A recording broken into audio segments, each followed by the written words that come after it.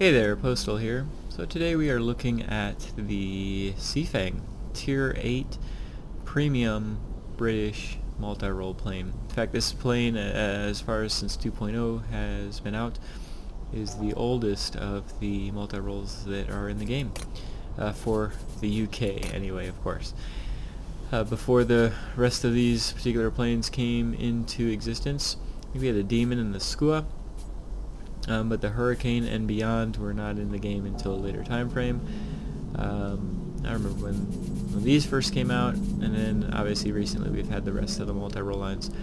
All very, very strong in their own regard. As you can see, I've kept the majority of them. I think the only reason I don't have the Hurricane 1 is because when the missions first came out, I was able to get the Hurricane 2 and just kind of went down the line from there.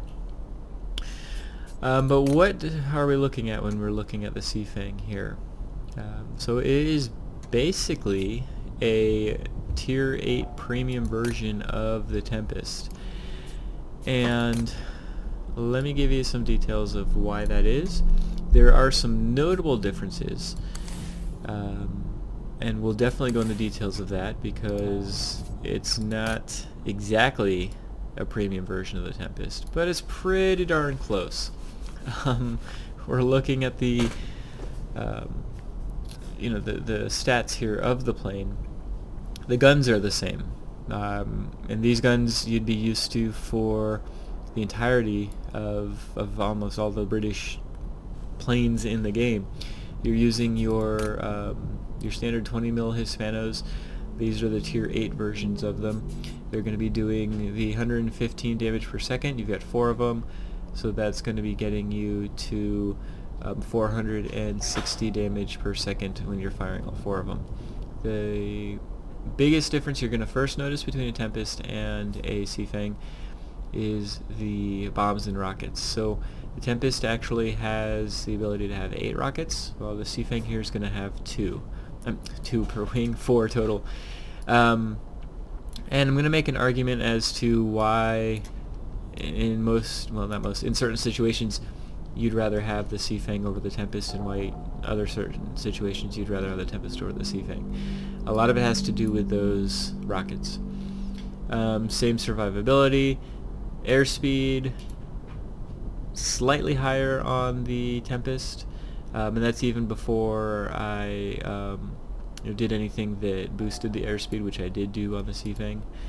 Um, altitude perform, uh, excuse me, jumped on one, didn't I? Maneuverability is slightly better on the um, on the Seafang, but the actual turn time is the same, so you're not going to notice a huge difference in the two of them. Um, I think the maneuverability numbers are higher, must be because of the optimum airspeed and the stall speed are actually less on the Seafang. Uh, which you'd think with the bigger wings the Tempest would have a, a lower stall speed. Anyway, um, and last but not least, definitely not least, something that I think um, another reason to separate the Seafang and the Tempest is the altitude performance. You'll notice a, um, a pretty decent difference in the maximum opti optimal altitude. The overall ceiling, um, service ceiling is basically the same. It's going to take you forever to get to 11,000 feet anyway, um, or 11,800 if you're in the Seafang. But really the big difference is the optimal, and the reason being, you know, if you're at 5,200 feet, you've still got all your maneuverability, whereas on this one, if you're at 5,200 feet, you lose a, a portion of that maneuverability, so you're going to notice that. What, um, you know, what makes the Seafang stand out from the Tempest? Besides it being a premium, um, this plane, the the temp, the Seafang is, in my opinion, built more to do the dogfighting than the Seafang. I mean, than the Tempest would be.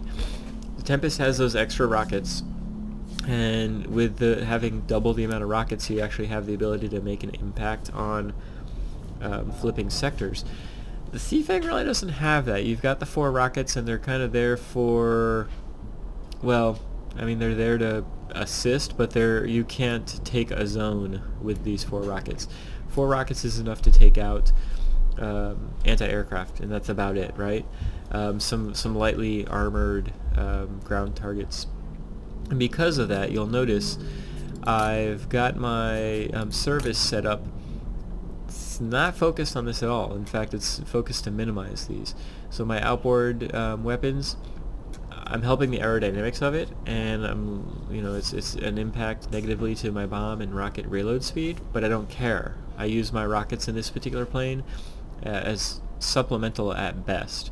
Most of the time I'm using this particular plane to dogfight, almost like you would in a light fighter, um, but the guns hit so hard um, that that's the biggest difference.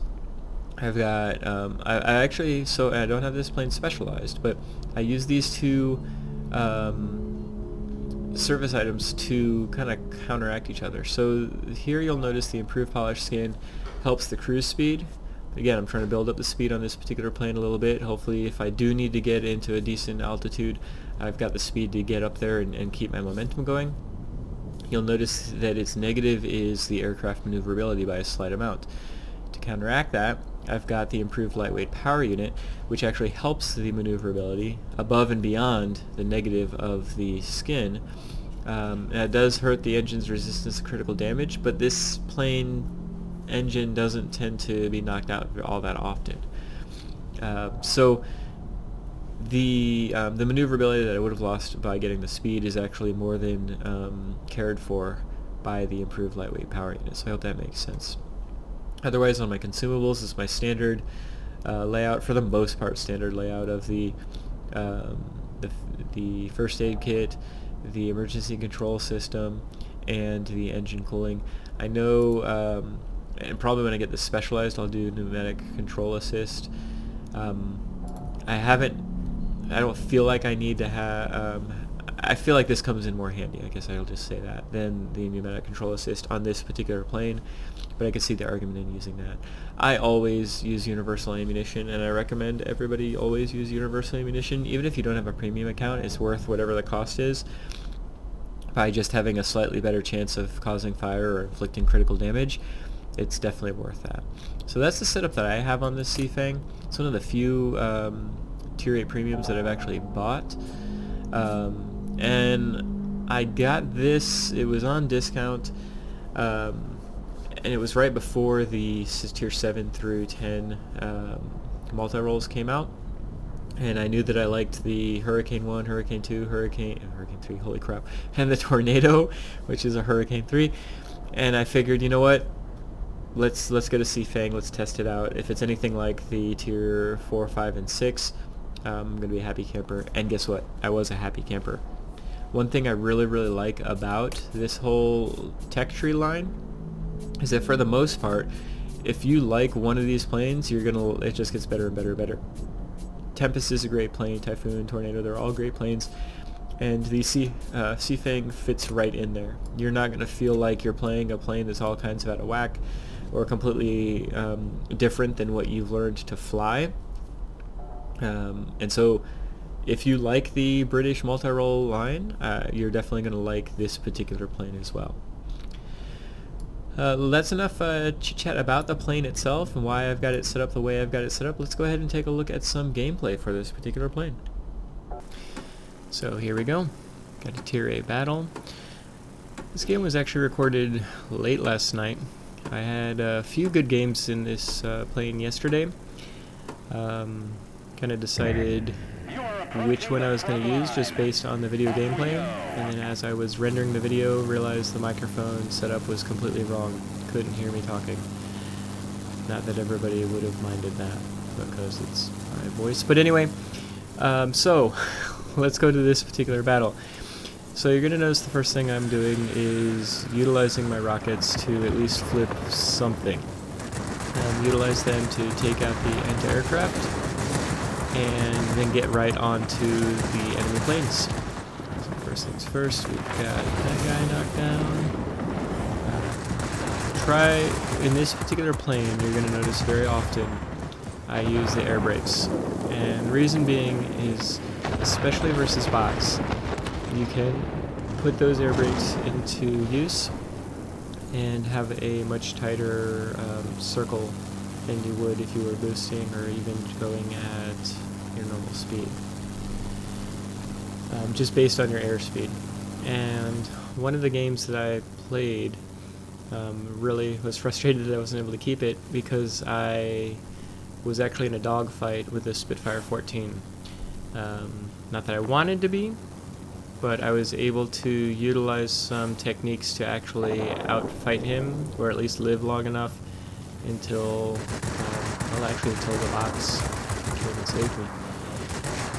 Um, so, unfortunately, can't see that. So, luckily with these new Russian bombers, they're pretty low altitude, and so I'm able to take advantage of them in this particular plane. Uh, although this plane has a higher altitude performance than a Tempest, it's still relatively low altitude, uh, like all the multi-roles in this game. Um, but the Russian bombers are nice enough to be lower here I was just testing out my guns to see how long they took to actually overheat. So I felt like they were overheating, um, but it was my fault for not. It was my fault for letting them get overheated uh, when I really needed them.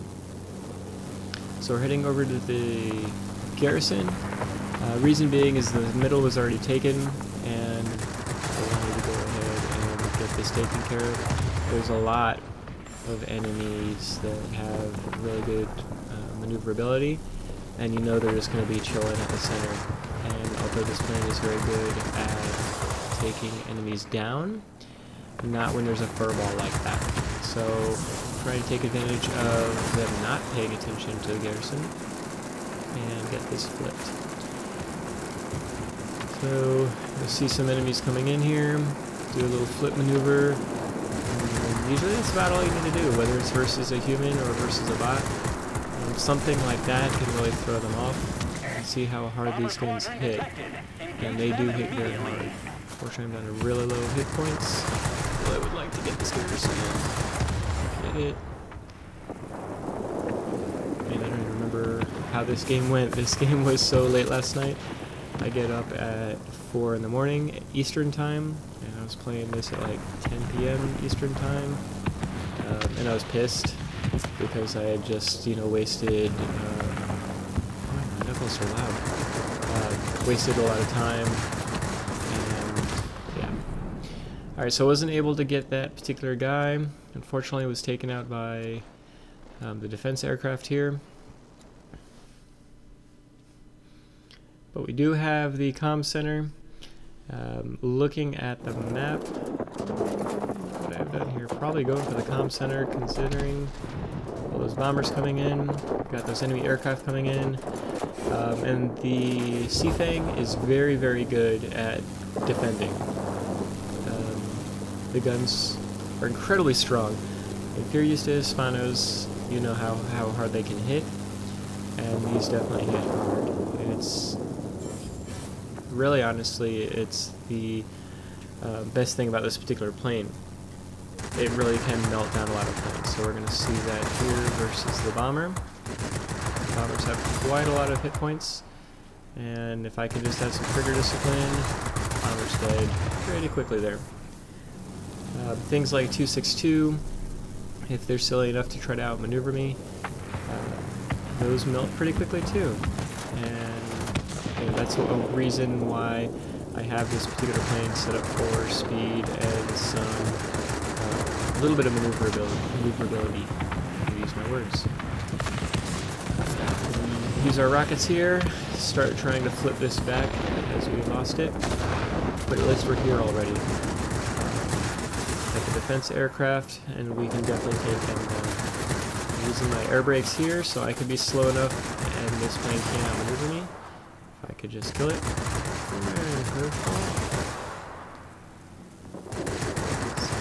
a little bit too much time. Yeah, I remember this particular guy. For whatever reason, I wasn't able to actually keep my guns on target, so I'm flipping around here. Uh, but knowing, or assuming, he's going to be dead pretty soon, I took my eyes off of him and go for something with some higher hit points. Get him taken care of. Let's go ahead the last one here. There we go. So again, using the rockets just to get one of the AAs, I look at what AA needs to be gotten. Um, if there's a lot of bombers in my area, I'll take out the high altitude. If it's ground pounders and me, I will take out the low altitude AA. Um, but that helps me actually flip a comm center. And I was hoping to get this guy, and Yak 9U, that 45 finally um, stung me. So luckily I wasn't in the sector. Um, and to be honest, the Yak 9U is going to be right up there with my um, maneuverability. Just hoping to take him out quickly. So we're going to hop in the center here. And we, we've got quite a lot of options, right? We were able to hang on to the other comm center. We got this comm center, and we've got the military base in center here. Sorry, the airbase. And so right now I'm just trying to make sure that we don't lose too many um, sectors. The amount of points is about the same, and that's when I see that we've got this um, enemy heavy fighter. Let's go ahead and see what we can do with him. You know, the Ki 93 is kind of derided as a um, low maneuverability heavy fighter, but it's still pretty maneuverable, um, especially for its tier. It's just not as maneuverable as the tier 5 and tier 6 before him. So in this particular instance, I wasn't quite sure where I was going to be going, trying to decide what was best, and then realizing, wait a minute, I'm moving towards your spawn section. I'm not in a yak, I'm not in something that can just, you know, pivot on a dime, and it doesn't matter if something spawns right behind me, so I need to get away from that. Heading back to the center here, taking a look at the most dangerous plane in my opinion, at least this near me. I don't want something that can get behind me, so and it happens to be in the direction I'm going. Let's go ahead and boost up here, get this Russian bomber if we can, and you know, this plane, like almost all multi-roles, is a force multiplier. And so, you know, um, don't be afraid of helping a heavy or a light focus down another plane. We've got this ground pounder coming in here. I was thinking he was going to be turning in towards the center, and I could help kind of defend a little bit, but it looks like he's just going for the comm center, and, well, I'm just going to stick with him. Squall lines in, so I definitely want to get rid of him. Um, I'm able to, and that way we don't have to worry about him flipping. Got some bombers coming in. Trying to keep an eye on the map. I'm really afraid we're going to lose in the middle as well. To be honest, it feels like I wish I could uh, clone me or a couple of me. Um, so I want to go ahead and head to the center here, taking a look at the hit points of what I'm going against, and seeing what might need to be taken care of. I also see that there's our ground pounder enemy on the side here, and nobody's focusing on him, so I definitely want to hit him, get knocked out, get some of our points back, and now we can move on to whatever may come. Uh, we've got three sections, but we're down on points. We really need to hang on to that comm center, and I'm waiting for my boost, and now my boost, my cooling can come back on, and I'm going to utilize that to um, get these bombers. I did realize there wasn't a lot of enemies left. I think there's only one actually, uh, but it, yep, but it it's a heavy all the way down to the south. Um, I can't chase it down. So I thought my best bet was to try to defend this section and do what I can to try to hang on to it um, and continue to get four points for every one point they get. And again, in this situation, whatever the heavy plane is that's behind me is firing at, I'm firing as well. And I kept firing at this out of frustration. I was like, come on, really, I flipped it. Uh, but I wanted to utilize my guns with the friendly guns and be able to take out those bombers quickly. Uh, but lo and behold, the enemy heavy is in our general vicinity. So, uh, unfortunately I'm out of boost, but it is what it is. So we're just kind of sitting here hoping to gain it back. I'm watching the map, seeing if there's a direction he's going, and I can kind of cut him off for the pass. Uh, as soon as he starts turning, I know I'm golden. As long as I can get my guns to hit and have some trigger discipline, and I knock him out. That's the last of the enemies. We were head on points anyway, um, but that just made me feel so much better. Yeah, I got a Kozhedub, if I'm pronouncing that correctly. Um, but let's head on back. Alright, and as we can see here, pretty good game. Um, not a grade 1, but still was able to get 300,000 silver, 200,000 without a premium, um, and hopefully show you the strengths of this particular plane. I wasn't quite sure how I would like it. I do like that it is right in line with the rest of the British multi-roles, um, but you can really see the strengths. Um, and I'm showing you why I have it set up the way I have it set up. I really think that this is, um, it's not a dogfighting plane, but it's much better at taking out aircraft than it is at taking out the grounds. And so, yeah, obviously got myself a decent amount of silver. Um, all things considered, I think I start. I think I got two and a half million, maybe a little bit less than that, but really enjoyed this particular plane. Alright, and so that is the Tier 8 Premium um, British multi-role plane. And so I really enjoy this plane. If you like the British multi-roles, you're going to really enjoy this particular plane. Do you need to go out and, and purchase it? Well, that's debatable. Um, and it, I'm I strongly rec recommend everybody go for a Vampire F1. You know, they're completely free as long as you've got the time, and it does take a lot of time to do this unless you're going to be putting a bunch of tokens on it.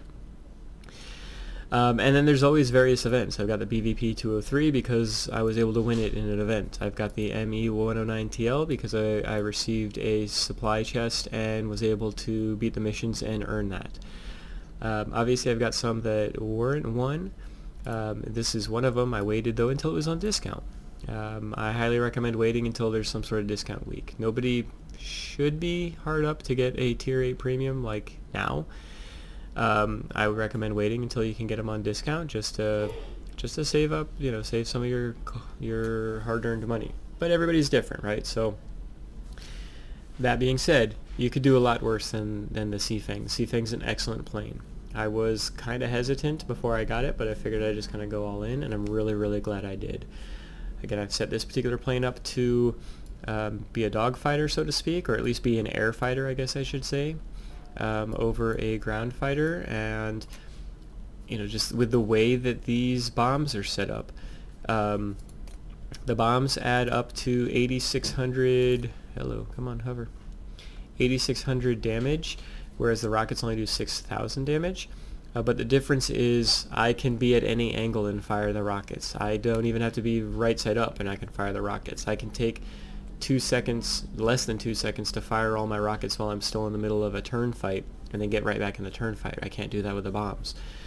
Um, I know, uh, you know, the rockets are more consistent. I know for a fact I can knock out AA with um, a salvo of the four rockets.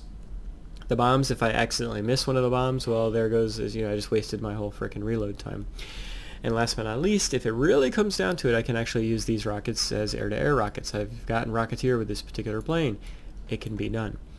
Um, but that being said, it's supplementary. Whether you're using the bombs or the rockets is supplementary. Your guns are what's going to make or break this particular plane, your speed, your altitude performance being slightly higher than um, other planes at Tier 8. You know, those kind of things are really what's going to gonna um, lead you to success with this particular plane if you enjoy the British multi-role line, you're going to enjoy this particular plane. It fits right in. Um, it could have been a friggin' tech tree plane for all we know. Um, that's how easily it fits right in beside Tempest. So um, I hope you enjoyed this review. Do you happen to have your plane set up, if you've got a Seafang, do you have it set up just like I've got it set up? Do you have it set up completely different? Do you enjoy the bombs? Um, tell me down in the comments below. Um, are you planning on getting it? Um, I, again, if, if I recommend this plane, but um, it's to everybody's discretion on when they get this particular plane. It's a heck of a lot of fun. It's a definite good credit earner. I started this at like 1.8 million. Now I'm at 4.3 million. I played, I don't even know. I, I averaged about 250,000 a match. Uh, of course, that's with a premium account. Um, but it's this definitely earns its silver. Um, so yeah, I hope you enjoyed. And if um, if you did, please feel free to give it a thumbs up. If you didn't, I understand. Give me a thumbs down. Uh, but either way, give me a comment down below and, and tell me what, uh, what you thought of the video. I'm always trying to learn. And I hope you have a great day.